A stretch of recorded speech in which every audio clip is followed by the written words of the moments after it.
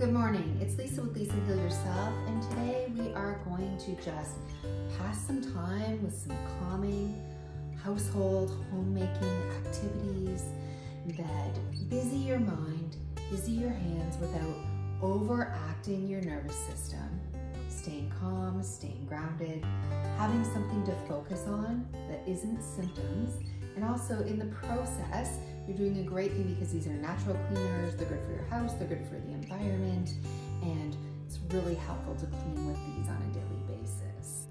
Some of the supplies I like to use are microfiber cloths and dishcloths. I like to use vinegar, hydrogen peroxide, dish soap, essential oils, baking soda, borax, and glass cleaning bottles.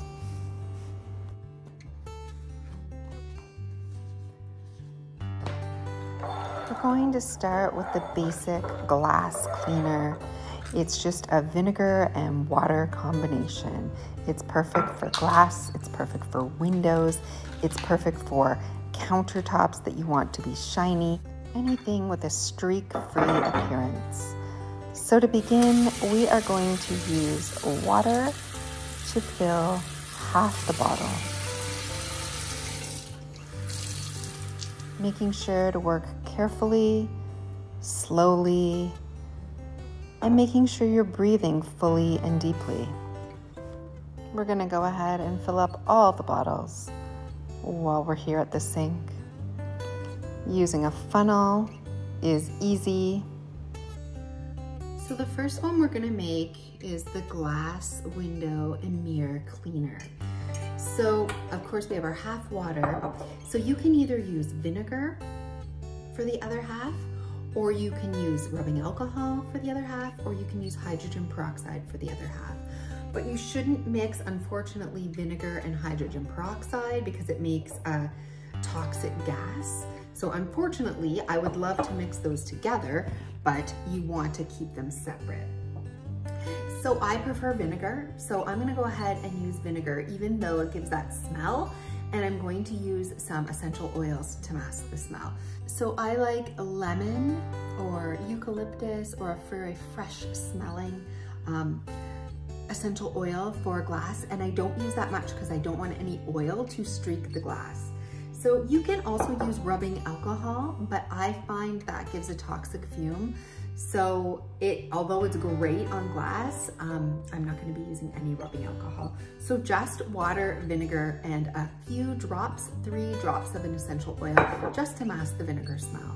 That's all you need. Being sure to release any tension in your body. Making sure you're breathing deeply. You take breaks to just shake out your arms and shoulders so that they're free of any tension. Filling the bottles with vinegar almost to the very top. Grounding as you go. Looking out the window. Taking some deep cleansing breaths. And smiling speaking kindly and positively to yourself. Knowing that you're doing something great for yourself, your family, and your home. Smelling the wonderful essential oil of lemon, smelling so fresh and vibrant. Feeling the sun coming through the window onto your skin.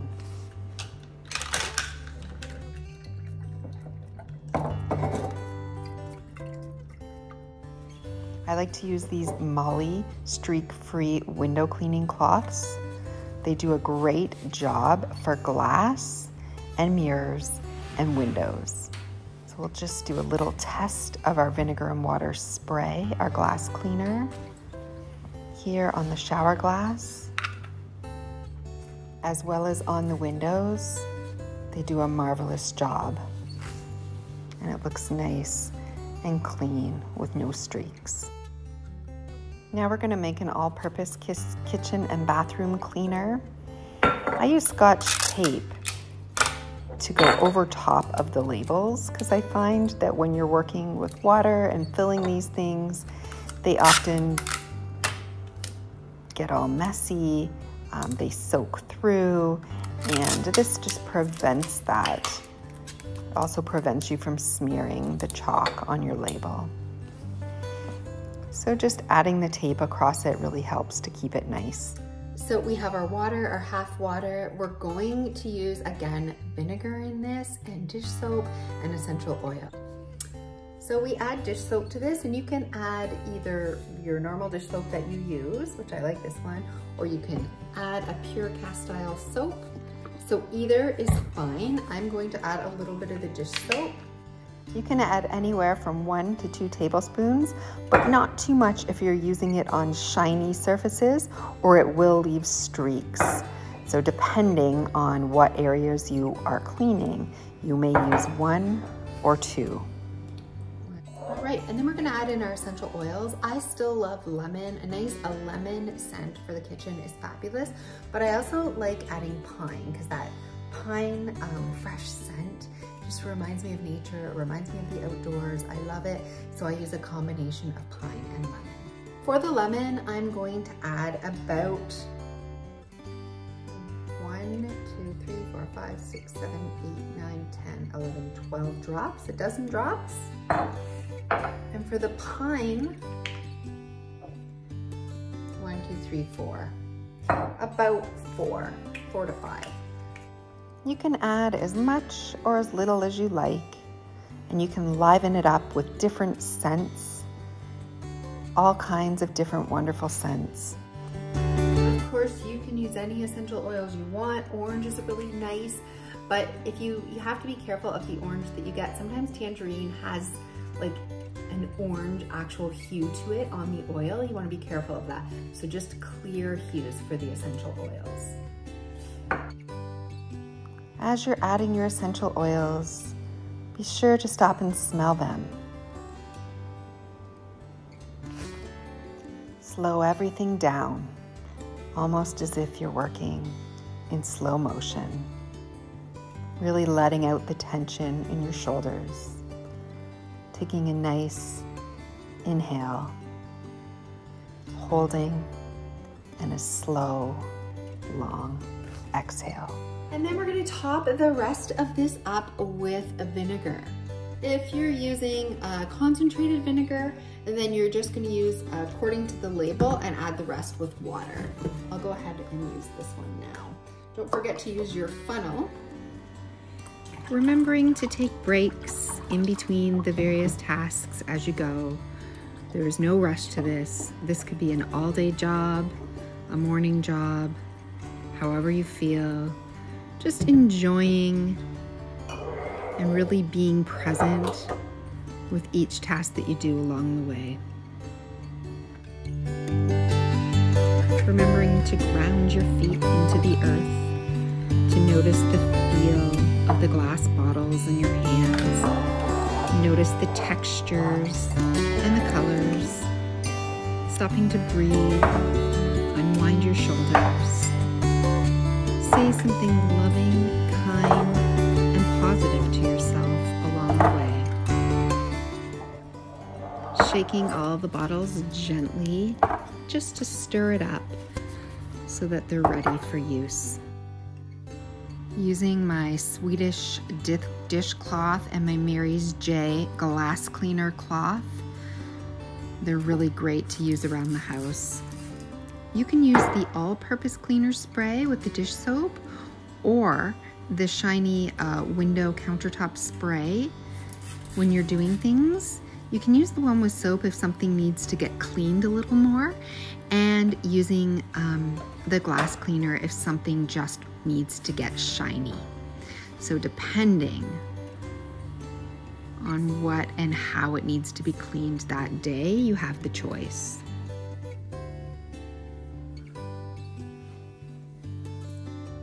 And lastly, for the toilet cleaner, this is for toilets, showers, tile, anything you need um, to use a little bit something heftier to clean. Um, this is how we're gonna make it. For this one, we're gonna put our vinegar away and we're gonna bring out hydrogen peroxide. Remember, you can't mix vinegar and hydrogen peroxide, unfortunately, together. So we are going to use the hydrogen peroxide here. So getting ready my bottles, dish soap, baking soda, hydrogen peroxide, and essential oil. I have a concentrated 12% hydrogen peroxide. The standard would be 3% that you want to use. So I am going to go ahead and dilute mine um, three parts to one, three parts water to one part hydrogen peroxide to make a 3% solution. And I have a uh, two cups here. I have four bottles, so I'm just gonna put a quarter cup of the hydrogen peroxide in each of the bottles. And that's how I measured mine out. So I'm gonna go ahead and put one scoop of baking soda, not even a scoop, maybe a half a scoop to three quarters, depending on how big your scoop is. You don't want to clog the bottle with too much baking soda, just enough to brighten. Remembering this isn't a race, to go as slow as you need to and be here, right here in the present moment fully engaged in what you're doing. Remembering to breathe. Take deep inhales and long exhales. Feel your feet grounded to the floor. Sitting down if it feels too strenuous to keep standing all the time. Whatever feels right to you. I'm going to split this two cup of hydrogen peroxide four ways and put a quarter cup in each bottle. So remember you want a 3% solution, whether you start with it or you make your own.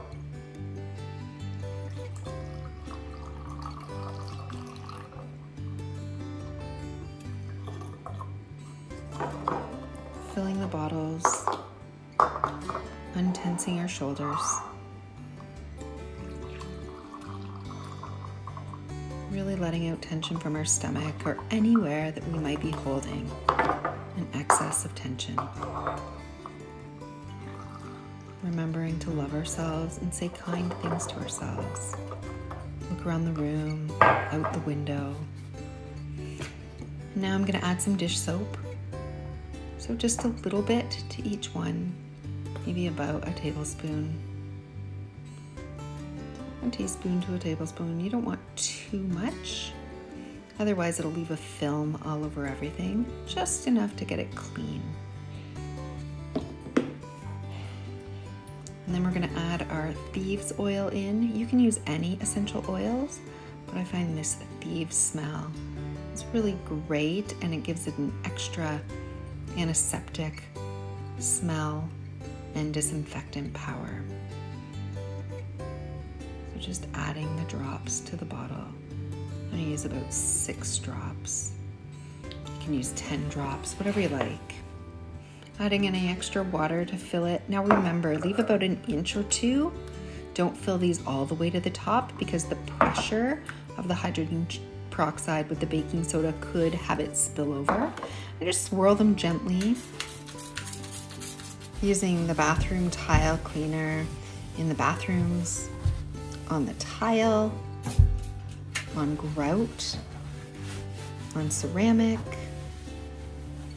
I also use it for a little extra cleaning and sanitation on the toilet seats and the rims around the seats. Inside the toilet, I like to use a scoop of baking soda I add vinegar right in.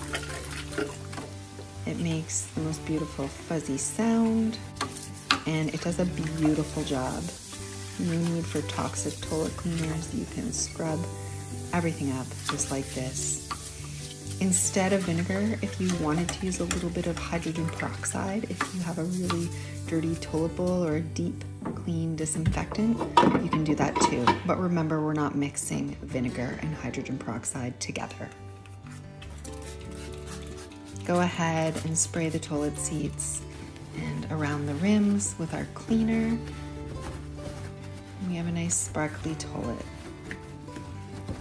super easy and non-toxic.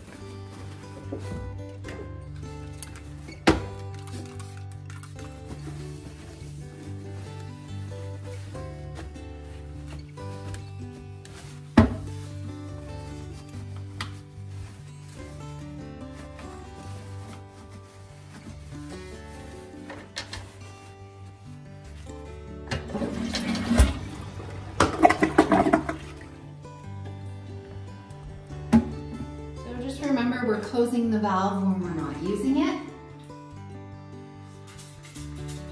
Because this one can spray out.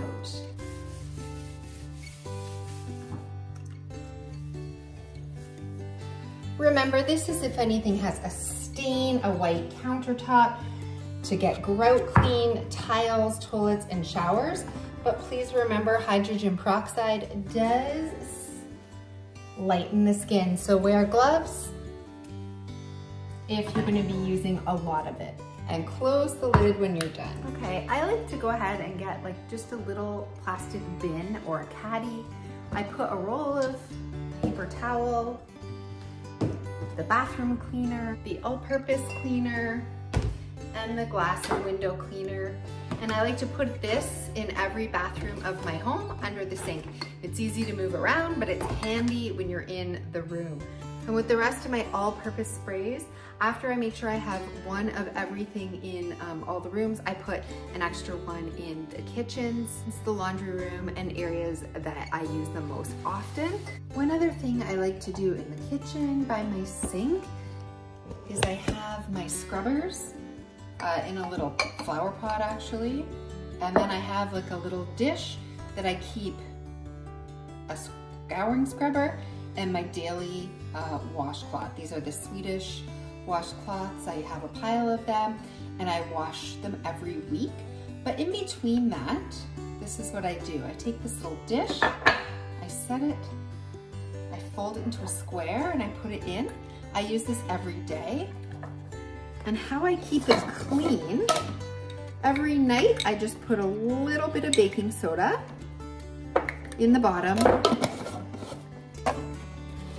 a little bit of vinegar,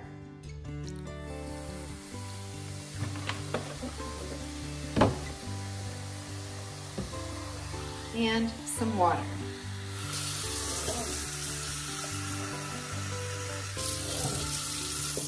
Just to keep my cloths clean, and I place them in here to soak while I'm not cleaning and overnight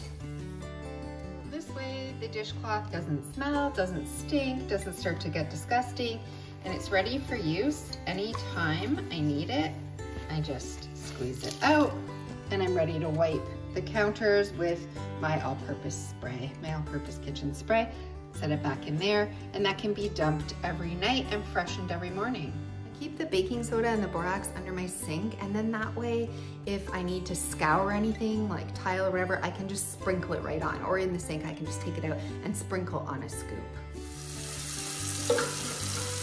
Every few days I clean out the sink, just add a little dish soap, running water, sprinkle some baking soda, and then I add some vinegar. I'll scrub the top, I'll scrub the bottom, being careful to use an appropriate soft cloth, nothing that will leave scratches. I let it soak sometimes for up to a half an hour, and then come back and finish it off, wiping it down nice. Remembering to take deep breaths and unclench your shoulders and just release any tension as you're working. Just taking in the nice clean sink, the feel of the water, really being present in the moment to what you're doing. Having a nice clean home, a nice clean sink, it just helps us to feel good. It helps our mind, it helps our body and our senses to just feel good. So like I said, I'll just probably leave this to soak after scrubbing it out and come back and finish it off at a later time. It's just a nice, relaxing activity that you can do. Really getting all of your senses going. You can hear the water, feel the temperature. Use gentle scrubbing motions right here, right now, in the present moment.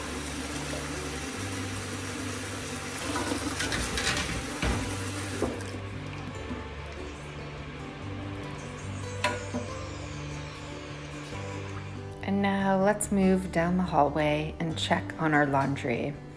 So I use baking soda, borax, essential oils, and hydrogen peroxide, as well as vinegar in the laundry room. Doing a load of colors, I'll just add the clothes to the washing machine. Add the soap. I do use a liquid detergent, something free and clear. Um, my health food store has a good one, as well as I like seventh generation. Okay, once everything's in, I will get out my soap as well as my vinegar. I often add vinegar in the spot where it says bleach. So it just freshens it and it also helps to keep it really nice and fresh. So I'll add the soap to my soap dispenser. Again, an organic, free and clear, something of a good brand. And then vinegar to where the bleach compartment is. It brightens, it deodorizes. And then I add essential oils. I like lemon essential oil. I just add a few drops in with the vinegar and that just gives it a nice fresh scent. Then I am ready to go.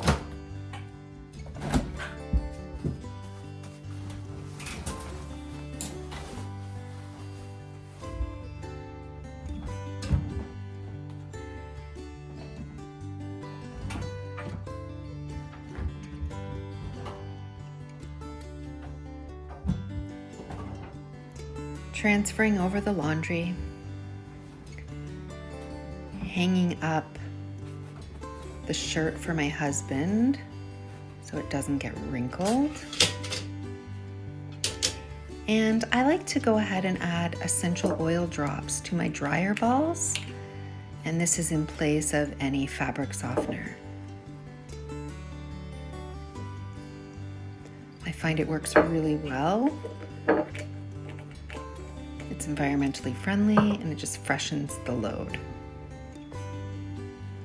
Every time I do a load of laundry and I see something white, whether it's a shirt or a towel, I put it in one of these bins during the week and at the end of the week I have a white load to do. So for my whites, I like to do a couple of things. I alternate between a few things. Right now I'm putting in some baking soda right in the drum. I will alternate between using baking soda and borax, and I just put a scoop right into the drum. That really freshens and whitens the load. In the washing compartments, I put my soap, my laundry detergent, and then I alternate between using hydrogen peroxide and vinegar in the spot where the bleach is supposed to go. Vinegar really whitens a load, but if you really want to get close to bleach, try using hydrogen peroxide. Um, remember, you can't mix vinegar and hydrogen peroxide in the same load. And that's it. Now while I'm here, I'll just feed my cute little doggies and get ready to take them on a beautiful walk outside.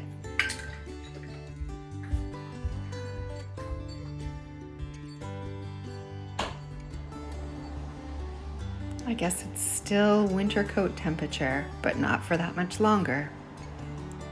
Always make sure that you stop to smell the fresh, beautiful air, listen to the birds chirp, and get outside. It does the body so good. Thanks for watching, and I'll see you in the next video.